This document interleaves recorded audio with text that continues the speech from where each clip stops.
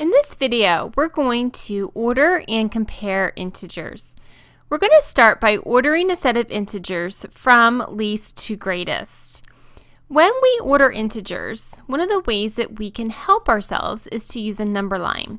On the number line, all the numbers to the right of 0 are positive, and all the numbers to the left of 0 are negative. The positive numbers are always larger than the negative numbers. Also, as you move to the right on the number line, the numbers get larger, and as you move to the left on the number line, the numbers get smaller. So to help us order this set of numbers, we're going to plot them on the number line. So the numbers that I'm going to plot are 20, which I'm just going to put a circle on each number on the number line, negative 5, which will be between negative 4 and negative 6, negative 2, 12, negative 18, 3, and negative 11. Once my numbers are plotted on the number line, then I can order them. The numbers that are the smallest are going to be farthest to the left.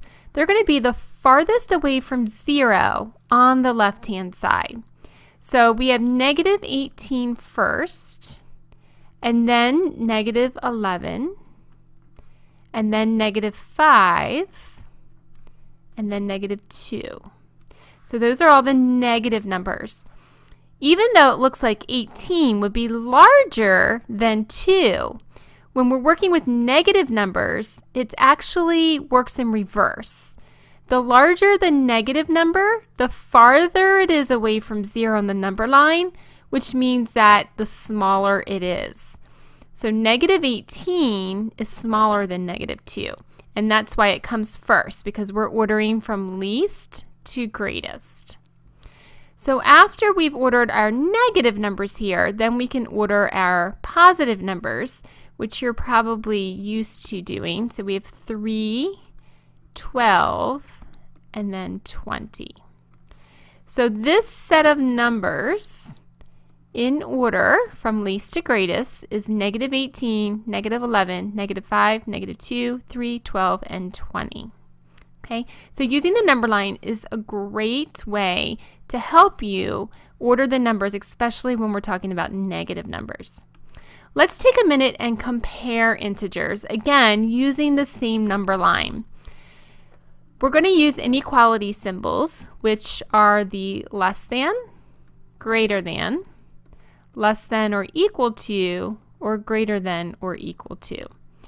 We're going to use these symbols to help us compare the following numbers. 5 and 10. Now, I put this one here just to get us used to using the inequality symbols, but you know that when you compare any two positive numbers, we're going to use the same rules. 5 is less than 10, so we're going to say that 5 is less than 10. Um, we can also compare positive and negative numbers. So here we have 9 and negative 12. The rule of thumb is, and I'll just plot them on here, 9 and negative 12. Whenever you're comparing a positive number with a negative number, the positive number is always greater. Positive numbers are always greater than negative numbers. So 9 is greater than negative 12. Our next one becomes a little harder because we're comparing two negative numbers. So here we have negative 13 and negative 5. If I plot them on my number line, I have negative 13 here and negative 5 here. The one thing that you can do is look to see which one is farther away from 0. Negative 13 is farther away from 0. That means that it's less than negative 5, which is a little closer to 0.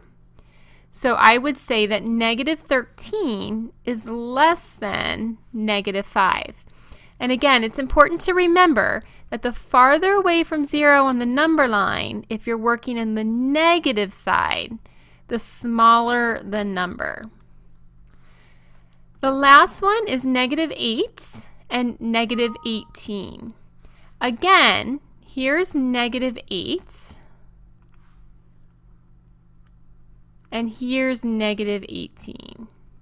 So negative 18 is farther away from 0, which means that it is smaller. So we can say that negative 8 is greater than negative 18. So when you're comparing negative numbers, you want to actually think of the opposite. If it looks like it's the larger number and it's negative, it's actually the smaller number because it's farther away from 0 on the number line.